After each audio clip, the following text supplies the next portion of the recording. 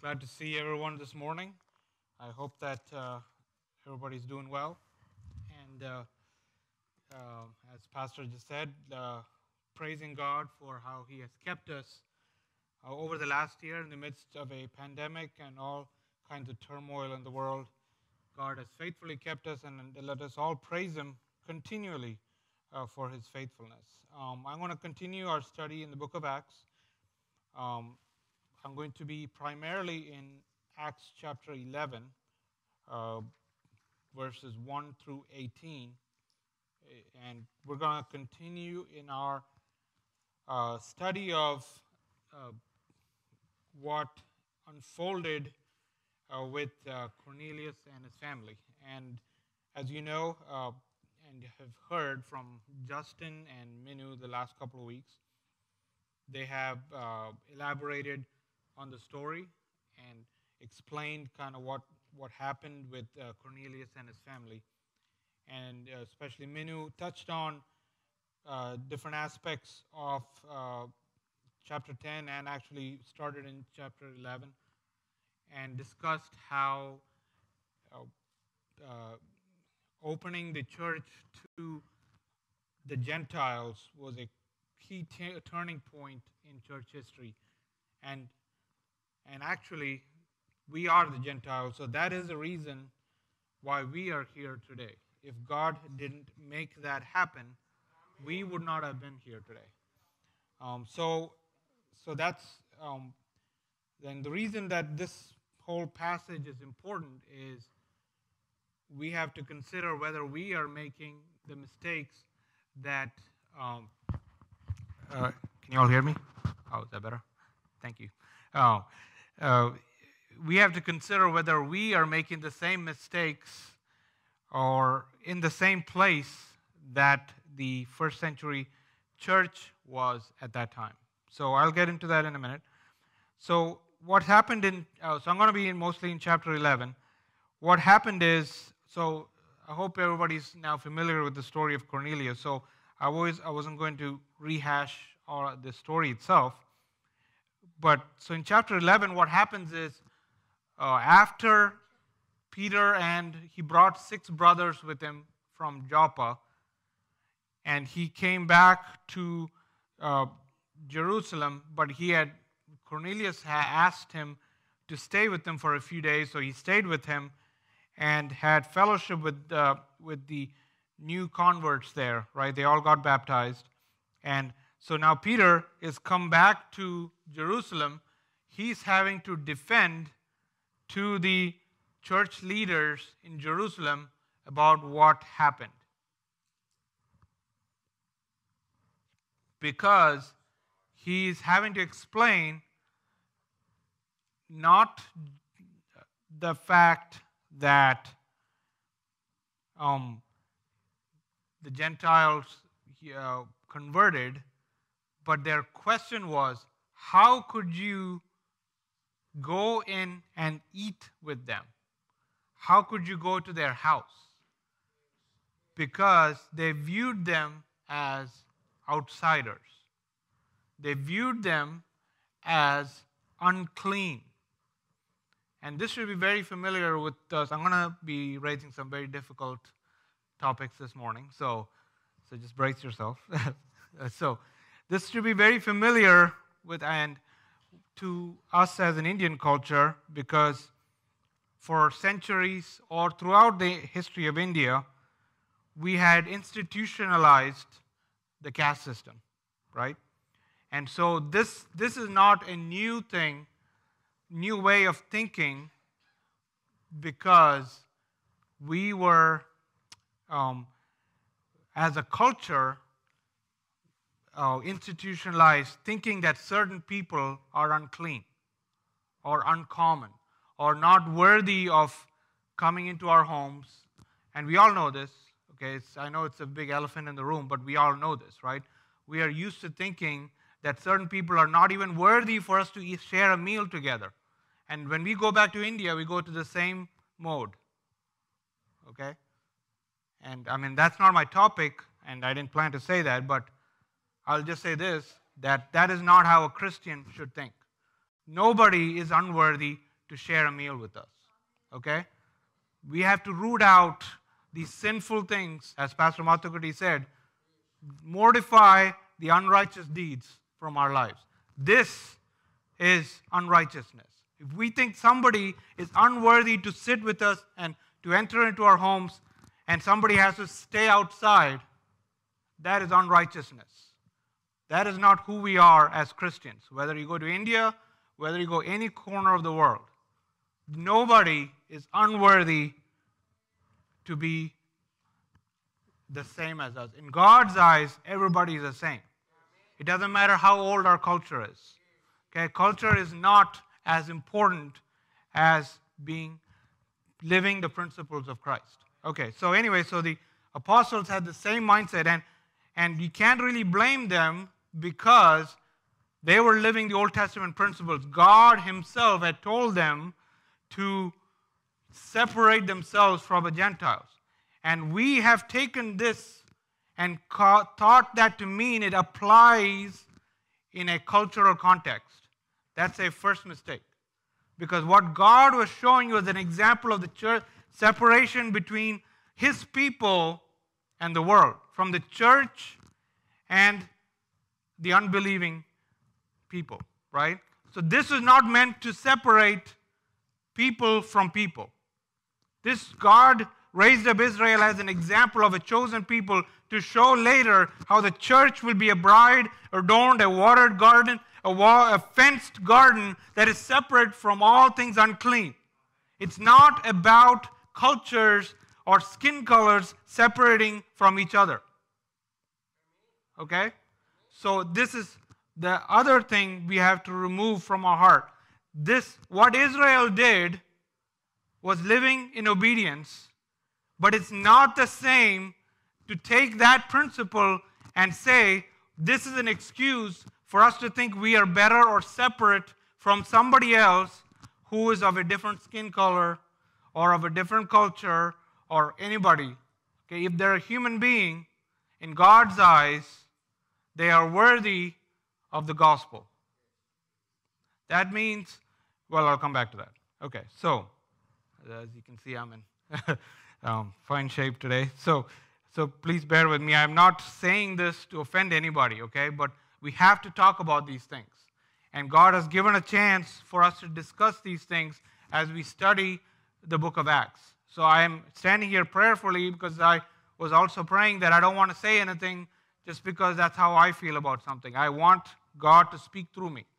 Okay, so so please uh, bear with me. That none of this is meant to offend anybody. Okay, I love all of you, and and but sometimes we have to discuss the truth.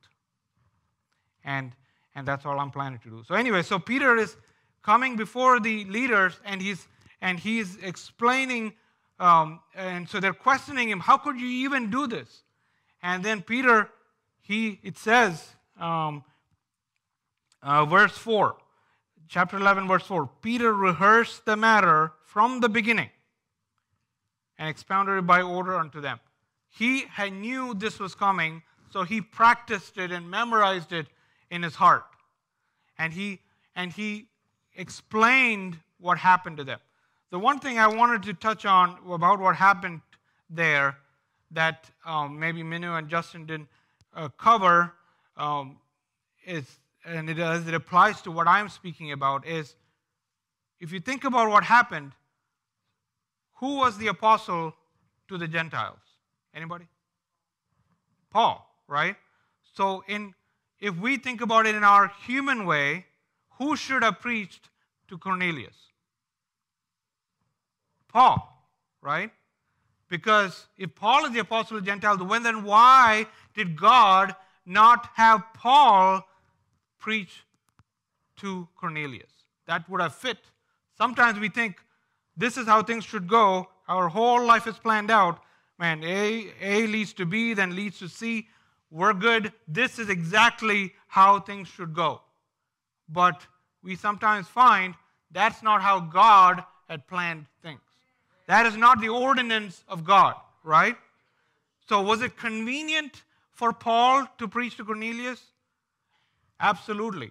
If you look at chapter 9, Paul was actually in Caesarea. where Cornelius was. Read chapter 9, says that Paul was in Caesarea and then he went to Tarshish. Okay? And because they, uh, they had helped him escape, I think he was in Damascus, they helped him escape and brought him to Caesarea because all the people were getting stirred up that Paul was converted and he was preaching to the Grecians. So he was easily able to preach to Cornelius. But God, that was not God's plan. That convenience is not a reason to do things. Okay? Remember that. Convenience is not a reason that we follow and obey, obey God's commandments. It's not about convenience. It's not because we think that something is the way it should be done. It's not just because of circumstance. Is not how God works many times. Okay? So you've got to remember that. So God called Peter all the way from Joppa, which was, I looked it up, it's about 35 miles away. And 35 miles is not the same today as it was then, right? They had to travel by foot or, or through a, you know, uh, or different carriage, right? Animal drawn carriage. So it's not the same. So he had to come over a period of two or three days. So God went out of his way to bring Peter to preach to Cornelius. Okay? So the one message you can take from that is what we think, you know, happens in our life is not by accident. Okay? Just because things look impossible in your life, whatever situation you're in, God has a plan for each one of you. Okay?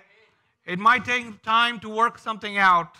It might look impossible, but you are not an accident. No, not a single person is by accident. So means that just, just like this story, God has a plan for each one of you. And we have to wait for his time. And you know why? So this is there are a couple of reasons why I realized why this happened. Um, if you remember back in Matthew chapter 16, Jesus made a proclamation to Peter. He said, You are Peter, and upon this rock I will build my church. Okay? And, the, uh, and God was fulfilling that promise many years later. That Peter was the one who preached on the day of Pentecost, and the church was established among the Jews. And Peter was a foundation that was laid to bring the first Gentile to Christ. This was God fulfilling his promise. So nothing happens by accident. God will make happen what he has ordained. Amen? You all with me? What a great God we serve, right? So nothing happens by accident. So the second reason that I believe that this happened was because Peter needed a transformation in this area. Okay? Imagine if Paul had brought Cornelius, they would immediately thought, oh, yeah, look at that guy. He came an outsider. He was a persecutor. Now he's doing all these things on his own, going away from the Old Testament ways. But Peter is the foundation or the key member of the church in uh, Jerusalem. He needed a transformation in how he viewed the gospel. That the gospel is now open to anybody that is willing to believe in Jesus Christ. And he saw with his own eyes, and he said to the leaders there, the, I saw the Holy Spirit was poured out upon the Gentiles. And I, by this I know God does not hold back his Holy Spirit from anybody who believes in the Lord Jesus Christ. Amen? You all with me? That is why we are here. God poured out his Holy Spirit on us because we believed in the Lord Jesus Christ. So, because of that, we know there is no difference between anybody that is willing to believe in the Lord Jesus Christ. Okay, so he needed a transformation in this area. His heart needed to be changed because God showed him the perfect vision, right? There were all kinds of creeping and crawling four footed animals coming down on that sheet. It could have been viewed as very offensive. Like, I can't imagine being amongst this people. I can't imagine that I, a Jew, will even interact with these people. This is the same way we think sometimes. How can I interact or be share a pew with these people? How can they be a member of our church? These are unclean people. This is what God wanted Peter to be transformed from. This heart change is what God wanted Peter in his heart. Because that was what God designed for his church. So now think about where we are at as a church. Okay, so I said I'm going to ask some tough questions. Uh, so think about how we, and this is not just, again, this is not just about racism. Um, it is about racism, but it's not just about that. But it's also about what we, what, we envision a church should be. Okay, look at about our church. Uh, I'm talking about our Indian churches or any churches, right? Um, we like to control the outcome. Okay? We like to make sure everything in our life is laid out in a certain way. And we want to control whether it's church or anything else. So we want to control how the church is run. Okay? And so we decide that certain way is how the church should be run. But that might not be how God has designed His church to be. The church was not designed to be run by, uh, by the congregation. The church was not designed to be run by administrators. The church was run, uh, designed to be run by the Holy Spirit. Okay, so, and why am I saying this? I'm not asking this so that we can, uh, you know, uh, you know, uh, just to kind of stir stuff up.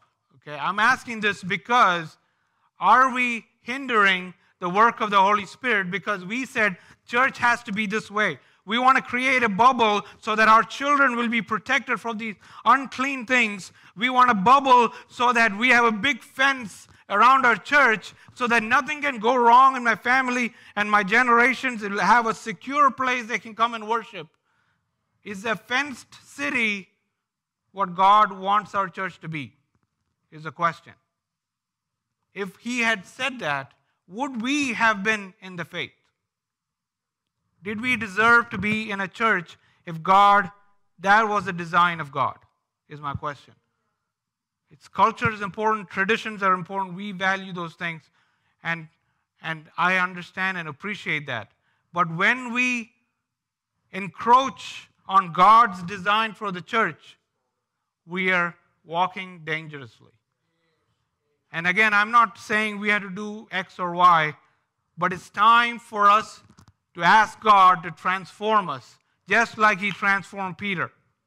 That we, I mean, we are at a point in the church, um, or we have to ask ourselves is our church growing? Do we care about the, the things? Are we caring about the right things? Are we caring about preserving this community of Indian believers because we want this community preserved or are we care about the church functioning as God designed it to be? These are the tough questions we have to ask ourselves. Okay? And that's just like if, if you had a pipe, right? Um, and I'll ask the worship team to come forward. I'll just take a couple more minutes. Um, if you had a pipe and if you pour water down the pipe, if there's a blockage, the water will not come out on the other side. You with me? The same way, the Holy Spirit, if you create walls, the Holy Spirit needs to flow freely in our lives. The Holy Spirit needs to flow freely in our church. It is not just about Pentecost. Pentecost, so Peter needed a Pentecost for the Holy Spirit to fall on him. But he needed the transformation that happened at Cornelius' house. We need our meetings and where the Holy Spirit is uh, uh, manifesting. All those things are wonderful, but we also need to be transformed. And the Spirit has to flow freely in our midst. And for that, the church has to function as God designed it to be, not how we want it to be. You all with me? I know you might be a little bit mad at me, uh, which is fine. That's okay. Um, um, hopefully, you'll get over it. uh, but but my point is, is the church functioning as God designed it to be? Um, about, uh, let me think about this. Let me do the math. 20, 30 years ago, um, there was a, uh, famous speech that most of our, a lot of our famous, uh, favorite president said. And he was in West, uh, Ronald Reagan, he was in West Berlin, and this was before the fall of Soviet Union. And Mikhail Gorbachev was sitting there, it was a joint summit, and he was sitting in Berlin in front of the Berlin Wall. And um, the Soviet Union had created this wall to preserve communism, right? To create this bubble where they didn't they wanted their way of thinking to be preserved. And they made these physical walls to prevent the flow of people so that they can prevent the flow of ideas, the free flow of ideas. They didn't want democracy flowing into communist countries. So they made these, erected this wall in Berlin, which was kind of the, uh, the kind of the flashpoint of where, you know, uh, between East and West Germany, where there was a flashpoint of where communism was meeting and split that country of Germany uh, into two. And so Ronald Reagan, eh, he went against his advisors and, um, and he said something in that speech, which is still famous today. And he looked at, Mr., uh, at Gorbachev and said, Mr. Gorbachev, tear down this wall. How many of you heard that speech? Some of the older ones might have. Remember that. Tear down this wall. And two years later, the wall fell down. Okay? So I'm asking you, let's tear down these walls that we have created in the church, that the Spirit of God may flow freely. The ideas of God may flow freely, no matter what the cost that we personally have to pay. Okay? Because as long as God is in control, we have nothing to be afraid of. We don't have to worry about our children. Did, did our children, are they secure because we did something? Or is it God's protection? We don't have to worry about uh, uh, what's going to happen to us. As long as God is in control, we do not need to worry. But let us tear down the walls that we have erected in how the church is run, in how we think about other people, in how we view other communities.